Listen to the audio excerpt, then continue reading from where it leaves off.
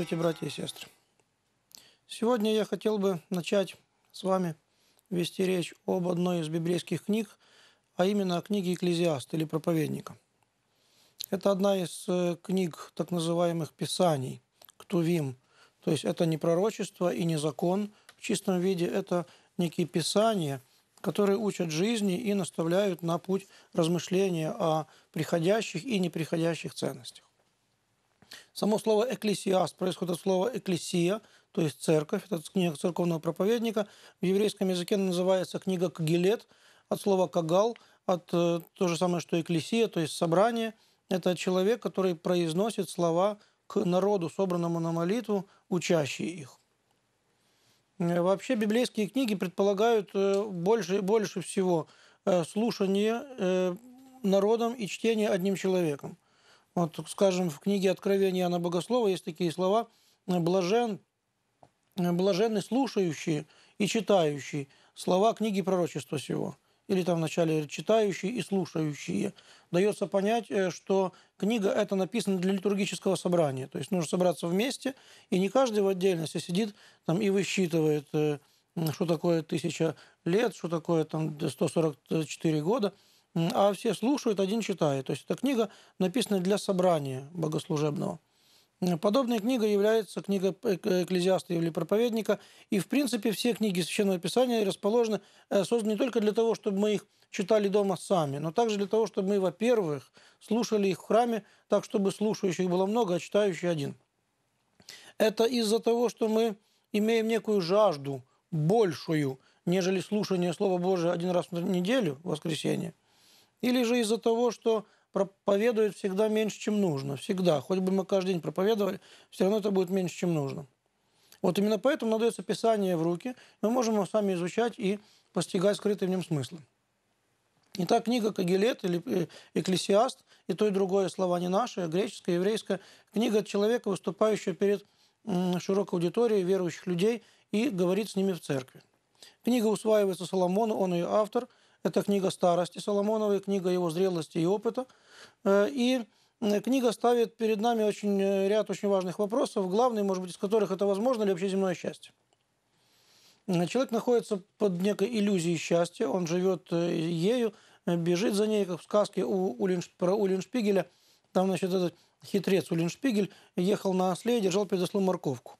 И осел шел за этой морковкой, значит, забывая об усталости, и так прошел большую часть пути, хотя был очень уставший и э, долго вести на себе ездока не мог. Э, за счастьем бежит человек, есть расхожая фраза, кажется, она написана была, сказана Короленко, что человек рожден для счастья, как птица для полета. И вот э, Экклезиаст ставит со всей резкостью и точностью этот вопрос, вообще возможно ли земное счастье. И, братья и сестры, должен разбить некую фарфоровую иллюзию – наше, значит, в общем-то, счастье в жизни в принципе невозможно. Есть некоторые вещи, которые можно утешиться, но они иногда даже обидно звучат. Мы об этом будем немножко там говорить. Итак, э, экклезиаст ставит под вопрос э, земное счастье и, по сути, отказывает нам в том, что оно возможно. Прочное, твердое, непоколебимое. Свойство жизни – это превратность, и превременность она вращается постоянно. Она меняется, не стоит на месте, где, как Державин писал, где э, стол был яств, там гроб стоит. То есть все меняется, скорбное, радостное, и это терзает человеческое сердце. Человеку хочется счастья непоколебимого. Э, книга Экклезиаста находится в некой середине Писания. Она э, поднимает скептические вопросы о земном благоденствии – я хочу подчеркнуть и заметить очень важную мысль, на мой взгляд. А именно, что э, закон Божий, то есть данный через Моисея евреям, э, книги там Бытия, Исхода, Левита, там, где есть заповеди и прочие законоустановления, они подчеркнуто материалистичны. Ничего о загробном мире, по сути. Так ясно и четко.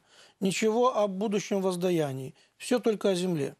Награды только земные. Ты будешь здоров, у тебя не будет э, бесплодных овец, волов, ослов в стаде – дети будут у тебя здоровы, ты не будешь бездетен, будешь долголетен.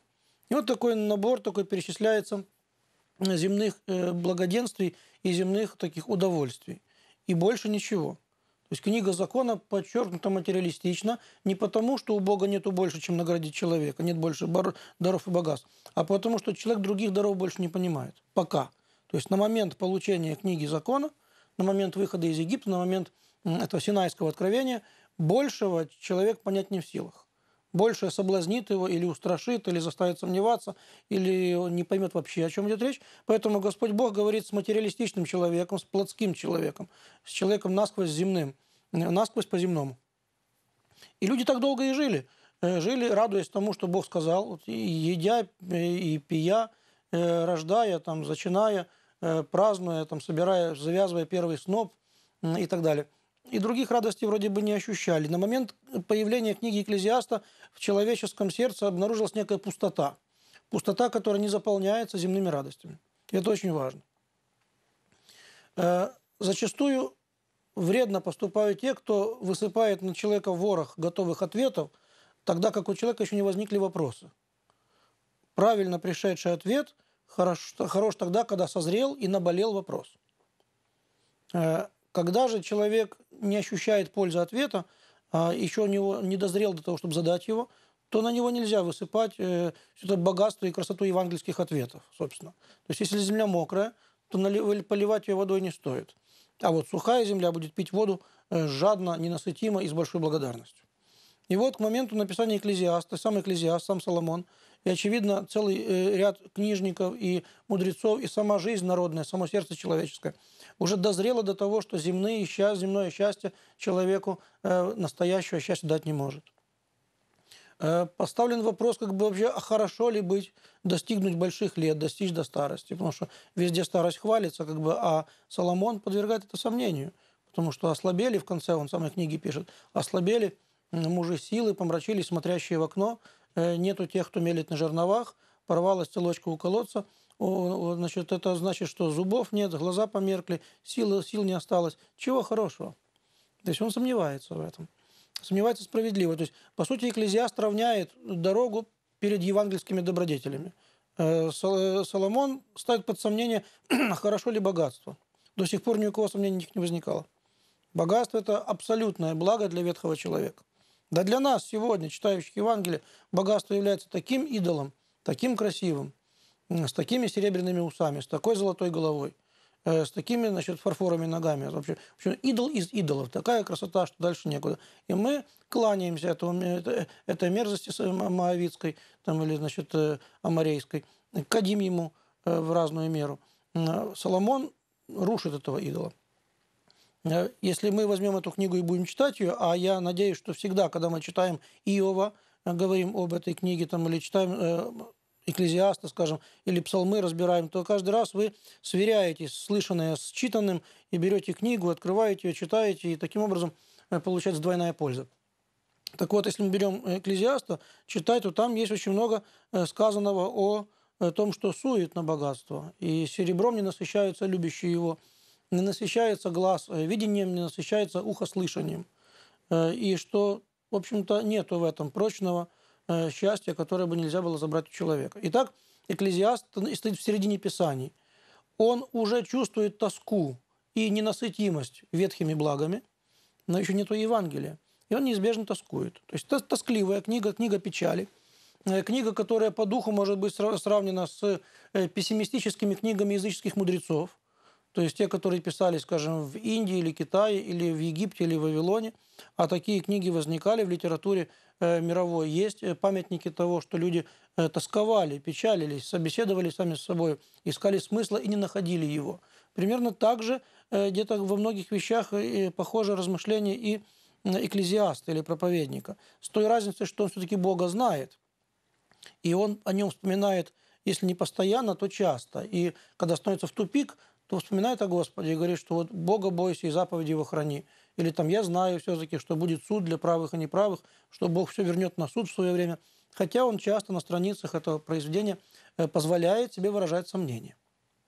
Мы будем несколько э, дней подряд э, говорить об этой книге для того, чтобы она стала нашей книгой, чтобы она не лежала где-то, а чтобы мы знали, во-первых, что к сомневающемуся человеку нужно иметь снисхождение. Потому что нам так кажется иногда, что раз истина прозвучала, значит, все должны в нее уверовать сразу. А нет – Э, книга Экклезиаста, по крайней мере, учит нас такой правильной и важной вещи, что э, сомневающийся имеет право на сомнение, и со сомневающимся нужно иметь э, некий такт терпение к нему, потому что есть в Библии даже книга, такая целая книга «Сомневающийся человек». Ну и много там различных действительно пользы заключается различные, поэтому мы некоторое время посвятим тому, чтобы буквально некоторые цитаты зачитать из нее и поговорить об этом.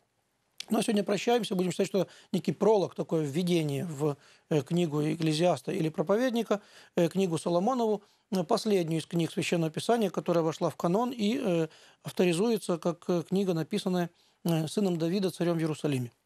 До свидания, до скорой встречи и ангела-хранителя.